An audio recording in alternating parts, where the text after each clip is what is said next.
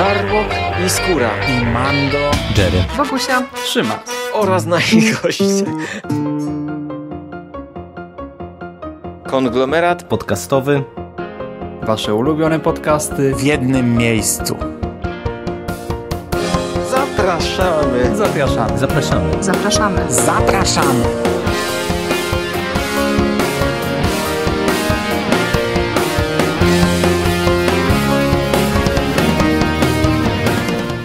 Witam Was, kochani, bardzo serdecznie w kolejnym odcinku konglomeratu podcastowego. Dzisiaj będzie pewnie krótko, ale biorę na warsztat e, coś e, świeżego, coś nowego. Otóż e, z mojego punktu widzenia wczoraj, z Waszego zapewne też, 19 czerwca, Egmont wypuścił do sprzedaży nowy magazyn komiksowy, który nazywa się Marvel Comics, tom pierwszy. To jest magazyn wydany dokładnie tak samo jak Star Wars Comics. Jeśli widzieliście kiedyś Star Wars Comics, ten nowy, e, tą nową wersję, no to wiecie czego się spodziewać. Dostajemy dość gruby tomik. Tutaj mamy dokładnie 116 stron, czyli 5 zeszytów komiksowych, e, wypełniony komiksami na nieco słabszym papierze, z e, nieco słabszą okładką. To nie jest, e, to nie są jakieś wyżyny, jeśli chodzi o jakość wydania, ale dzięki temu dostajemy dużo, dużo niższą cenę i to w tym przypadku dużo niższą niż w Star Wars Comics, bo jest to 14 zł 99 groszy za 5 zeszytów komiksowych. To jest fantastyczna rzecz. Ja przyznam, że mm, bardzo mocno mm, najarałem się na ten, na ten news dotyczący Marvel Comics, ale nie chodziło o mnie, tylko o moją córkę. Ona bardzo chłonie superbohaterszczyznę, lubi Marvela, lubi te postaci i gdy przeczytałem, że powstanie magazyn dla dzieci, no to chyba od miesiąca robię jej, wiecie, teasuję jej, to robię jej zajawki, że będzie coś takiego, że będziemy czytać, że będzie miała swój własny magazyn pełen komiksów, że to nie będzie tak jak w tych wszystkich innych magazynach, jak tam, nie wiem, e, jakieś tam Lego Ninjago, Lego Star Wars, Lego Batman, czy jakieś tam, nie wiem, mm, e, Super Zinksy, czy inne tego typu, gdzie mamy, wiecie, e, pięcio, sześciostronnicowe, bardzo, bardzo prościutkie komiksy, a ze dwa, trzy takie komiksy na magazyn, a reszta wypełniona jakimiś tam rebusami, e, znajdź drogę w labiryncie, znajdź pięć różnic i tego typu głupoty, że to będzie naprawdę magazyn tylko z komiksami. I tak cały czas gadam bodzi od miesiąca.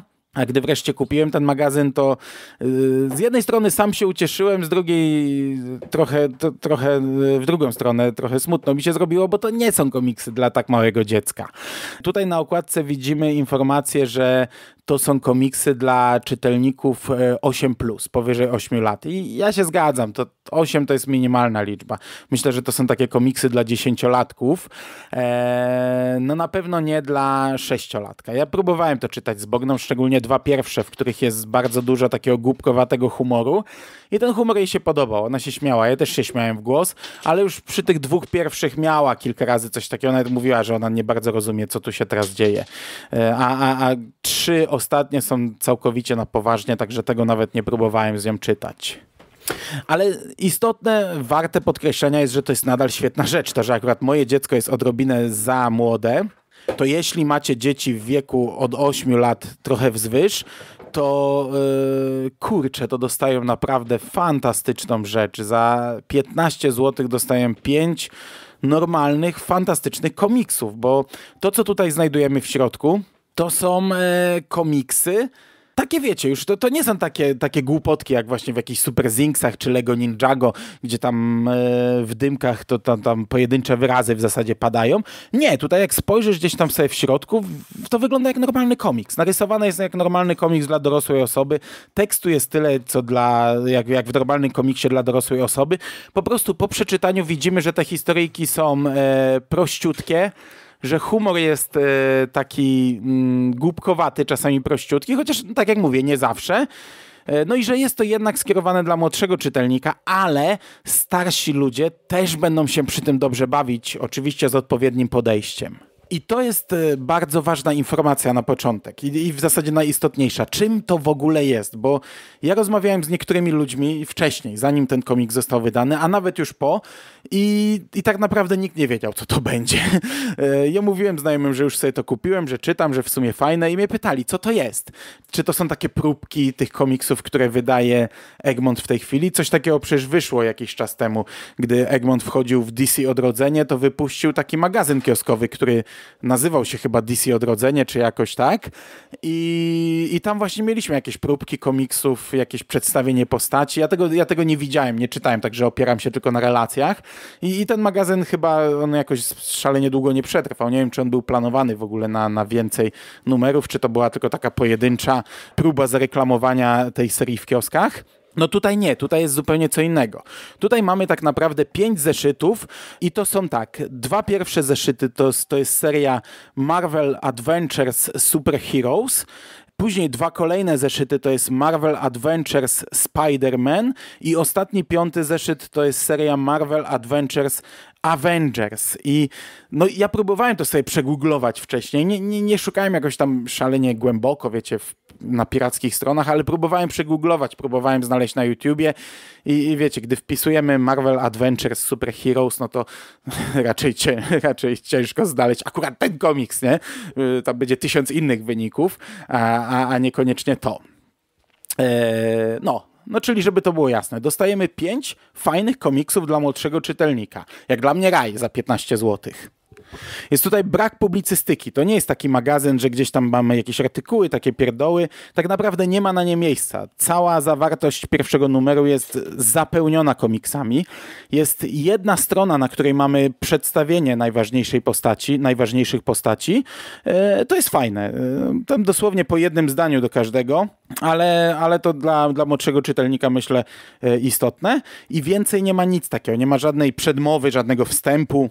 Nie ma nawet takich e, plansz, które dzieliłyby nam te komiksy, co czasami może być trochę dezorientujące, bo oczywiście, gdy zaczyna się nowy komiks, no to jest tam strona z tytułem, ale ona nie zawsze jest pierwsza, czasami jest trochę później, czasami jest jakieś wprowadzenie do komiksu i dopiero gdy, gdy jest ta istotna plansza, to wtedy pojawia się tytuł i na przykład, wiecie, kończymy jeden komiks, gdzie mamy Hulka, Ironmana i Spidermana i zaczynamy drugi, a tak naprawdę nie wiemy, je, jeśli nie spojrzymy w spis treści, to nie wiemy, że my skończyliśmy tak naprawdę i, i, i to tak przez chwilę może dezorientować, e, ale to taka pierdoła. No nie było miejsca najwyraźniej na te dodatkowe strony jakoś oddzielające. Tak jak mówię, magazyn jest zapchany po brzegi komiksami.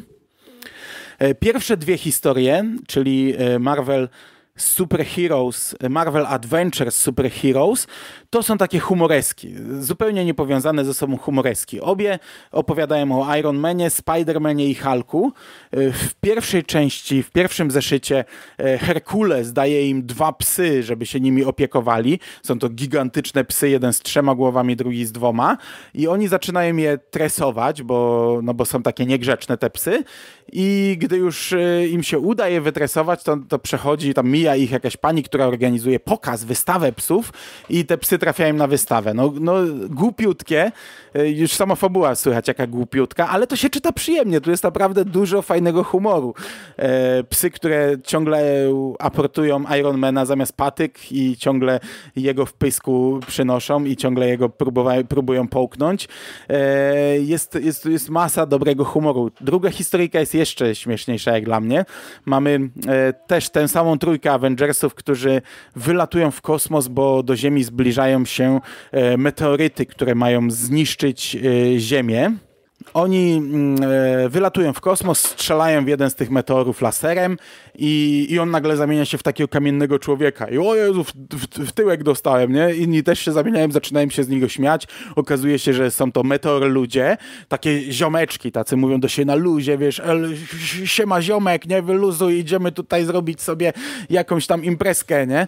I e, od słowa do słowa wychodzi na to, że oni faktycznie lecą w kierunku Ziemi, żeby ją zniszczyć. Wow, będzie super zabawa, nie? Nie? Pierdyknie planeta, ziomek, ale wyluzuj, będzie fajnie. I, I nasi Avengersi z nimi dochodzą do porozumienia, że e, zrobią z nimi takie tournée po różnych sportach ekstremalnych w kosmosie, i, a oni odpuszczą, odpuszczą, e, nie będą e, lecieć w stronę Ziemi. Dobra, ziomeczki, super, ale będzie impreza, nie? No i my widzimy tam różne, nie wiem, ekstremalne karaoke, mm, surfowanie po, e, na fali żółwi, jakieś e, wyścigi w pasie asteroid, skok na bungee w czarną dziurę, i ostatecznie już Avengersi się trochę wkurzają i, i tam robią łomot i, i do, doprowadzają do pionu tych meteor ludzi.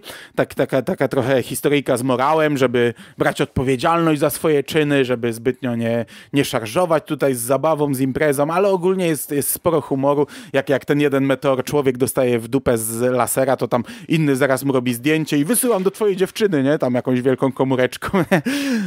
Dużo żartów, fajne to jest. Okej, okay, i tak jak powiedziałem, te dwa pierwsze zeszyty są takimi właśnie głupiutkimi humoreskami. E, trzy ostatnie już są zupełnie na poważnie. I przechodzimy do dwóch komiksów o Spider-Manie, gdzie dostajemy już taki większy zarys tego świata. Właśnie y, y, to jest y, jeszcze następna kwestia. Czy te komiksy są oddzielne? Czy można sięgać po jakiś tam któryś tom wyrywkowo? Spoko, jasne, tak, no to, to nie jest jakoś szalenie powiązane, ale na przykład, tak jak te dwie, dwa pierwsze zeszyty, to były całkowicie oderwane takie żarciki, tak w Spider-Manie już widać, że tutaj się buduje jakaś większa historia. Już widać, że, że dostajemy jakieś większe tło. Poznajemy nową dziewczynę Spidermana, mutantkę Sofię e, Sandival. Rysują się jej relacje z Gwen Stacy, która wcześniej była dziewczyną Spidermana i tutaj jest taka niechęć, e, taki nieprzyjemny wątek. Mamy wątek mafijnej rodziny Torino, którą e, rozpracowuje Spiderman i przez te dwa zeszyty gdzieś to się przewija. W drugim zeszycie do szkoły przychodzi nowy uczeń, Conor Torino, który jest takim dobrym przedstawicielem tej rodziny. Już tutaj widać, że zarysuje się się jakaś przyjaźń pomiędzy e, chłopakami. E, w tle cały czas pokazywany jest Bullseye, który został wynajęty do zabicia Spidermana, ale tak naprawdę przez te dwa zeszyty nie robi żadnego kroku. Są tylko pojedyncze sceny, gdzie jacyś inni ludzie z nim rozmawiają. E, także widać, że, że tutaj faktycznie buduje się jakaś ciągłość, jakaś całość. To jest fajne, aczkolwiek no, wydaje mi się, że jeśli sięgniecie po drugi, trzeci czy czwarty tom, to raczej bez problemu się połapiecie w tym, co tutaj się dzieje. To są mimo wszystko osobne historyjki z jakimś takim e, zarysowanym wspólnym tłem. E, zresztą w tej drugiej pojawia się Shang-Chi. E, myśmy o tym kiedyś rozmawiali w przekaście, gdy były jakieś tam plany w MCU, żeby zrobić o nim film. Chyba każdy z nas powiedział, że nie czytał nic, nie zna w ogóle tej postaci. Ja tutaj mam, to jest mój pierwszy kontakt z komiksową wersją tej postaci. I ten Spider-Man to są fajne opowieści. To nie są tak, tutaj się nie pośmiejecie tak jak na poprzednich, to nie są takie głupiutkie historyjki. To są proste, naiwne fabułki. To czy, naiwne? No naiwne to może też źle powiedziane. To są takie uproszczone komiksy no, dla właśnie młodszego czytelnika. W pierwszym e, zeszycie e, nasz bohater rozprawia się z, ze skorumpowanym sędzią, i wykorzystuje do tego e, coś, czego nauczył się w szkole. W drugim zeszycie mamy właśnie ten pokaz e, Shang-Chi e, w szkole i szkoła zostaje napadnięta przez ninja pod wodzą Midnighta. Tutaj mamy też e, już zarysowane takie tło, że Spider-Man jest tym superbohaterem od 8 miesięcy i nie idzie mu zbyt dobrze. Jest e, raczej negatywnie odbierany. Popełnił trochę pomyłek, e, sama policja za nim jakoś nie przepada. E, on, on nawet tutaj rozważa zmianę, rozważa zmianę kostiumu, nowy pseudonim i, i pójście jakąś inną, nową drogą. Bardzo fajne komiksy. Ja mam ochotę czytać to dalej. Ostatni zeszyt to jest Marvel Adventures Avengers. I tutaj mamy taką krótką przygodę, zwykłą rozwałkę, gdzie Avengersi zostają na samym początku zwolnieni. Wojsko stwierdza, że e, są po prostu ludźmi i prędzej czy później będą musieli zostać zastąpieni, więc już to zrobią teraz i wprowadzili nowy system Ultrona, e, nowych super żołnierzy. Oni oczywiście im tłumaczą, że to, to tam Kapitan Ameryka mówi, że to, to już podczas e, wojny próbowano coś takiego wprowadzić, a mimo wszystko nadal e, żołnierze normalnie funkcjonują przekonują, że, że to nigdy nie, nie, nie sprawdzi się, to nigdy nie um, przyniesie dobrych rezultatów. No i tutaj też bardzo szybko Ultron stwierdza, że, e, że jest błąd w systemie, że Ultron jest e, bardziej rozwinięty od ludzi, więc to, że ludzie mają nim rządzić, to jest bez sensu i musi to zniszczyć. Avengersów mamy w składzie Kapitan Ameryka, Storm, Hulk, Spider-Man, e, Giant Girl, Iron Man e, i Wolverine. I ten komiks to jest taka zwykła rozwałka. E, oni tutaj tak naprawdę prowadzą dwie bitwy z Ultronem, z Ultronami. Fajne, spoko, ale wiecie, nic wielkiego. Taka, taka zwykła, zwykła historyjka z morałem, że, że jednak to, to nie sztuczna inteligencja, nie roboty, że wzywajcie Avengers, gdy będzie taka potrzeba. Okej, okay, no i to tyle. Przyjemnie się czyta. E, naprawdę, jak dla mnie, bardzo fajny magazyn. E, z punktu widzenia młodszego odbiorcy, to jest rewelacyjna rzecz. Ja mam nadzieję, że to trafi, że to się sprzeda, że to się przyjmie. Gdybym ja miał 10 lat i dostawałbym takie komiksy za taką cenę, byłbym zachwycony. Ja to będę kupował dalej, bo wiecie, no moje dzieci prędzej czy później będą miały te 8 plus lat i wtedy sobie to z nimi przeczytam. Eee, i, i, I wtedy będę się bardzo cieszył, że to kupowałem dalej. Będę to pewnie czytał dalej, bo ja, ja mówię, to jest lekkie, przyjemne, fajne. E, chociaż oczywiście, no nie skierowane do mnie, ale ja mimo wszystko bawię się przy tym dobrze. Raczej nie będę tego recenzował, bo to trochę nie ma sensu. E, te, te komiksy pewnie będą w tym samym stylu.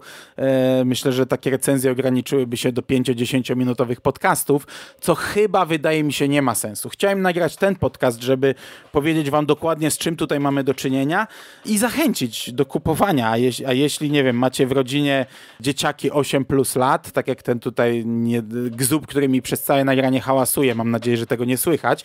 Za 6 lat będzie już mniej więcej 8 lat plus i, i mam nadzieję, że te komiksy przetrwają te, te 6 lat. E, no to jeśli macie takie dzieciaki w rodzinie, to to jest świetna rzecz. Naprawdę świetna rzecz, żeby zachęcić dzieci do czytania komiksów, mam wrażenie, żeby zarazić dzieci superbohaterszczyzną.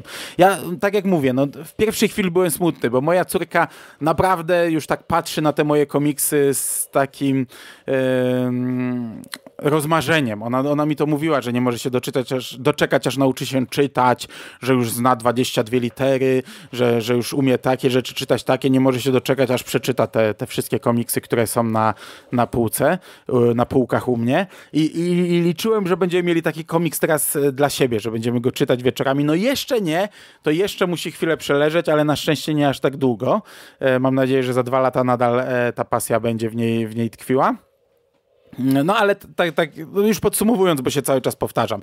E, tak jak my wszyscy wspominamy te semiki i, i, i, to, co nas wychowało, tak wiecie, ten Marvel Comics nigdy nie, nie, nie, nie będzie TM semikiem, nigdy nie osiągnie takiego kultu, zbyt duża konkurencja, zbyt dużo komiksów mamy w tej chwili w ofercie, ale może sprawić, że gdzieś tam jakieś młode dzieciaki, wiecie, złapią tego bakcyla że młode dzieciaki, które teraz będą czytać to, za kilka lat będą czytać e, inne rzeczy wydawane e, normalnie w księgarniach. I, I, dla mnie to jest fantastyczna rzecz. Naprawdę mam nadzieję, że to się przyjmie i, i trzymam kciuki, trzymam kciuki. Ja będę dokładał swojej małej cegiełki do wyników sprzedaży tego pisma. Jeszcze raz zachęcam, Marvel Comics, tom pierwszy. Nikt mi za to nie zapłacił, sam musiałem sobie kupić ten numer. E, do czego Was również zachęcam. Trzymajcie się ciepło, do usłyszenia. Cześć!